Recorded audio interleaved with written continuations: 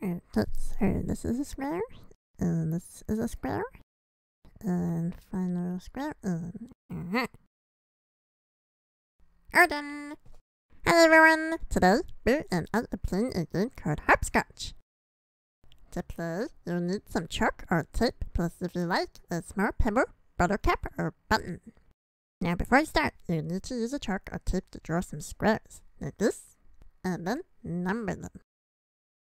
So I'll number this one, two, three, four, five, six, seven, and eight, nine, and ten. Okay. Before we go through the instructions, just remember that our hopping is done on one foot unless the hopscotch design has two side-by-side squares, in which case you would jump and land with the foot in both. Now to play, the first player stands behind the starting line and tosses the pebble into square 1. Next, they hop over square 1 straight to square 2, and then continue hopping, turning around at the last square and then hopping back. Pausing in square 2 to pick up the pebble in square 1, and then hopping into square 1 and out again.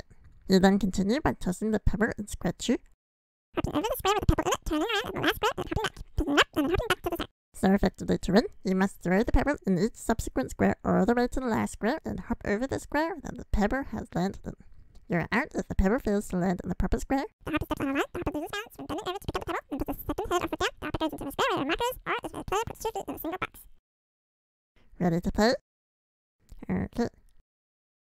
Hop, hop, hop. Picking up, uh, hopping.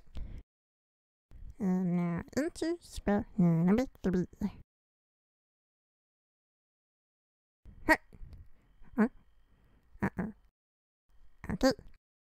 No chamber.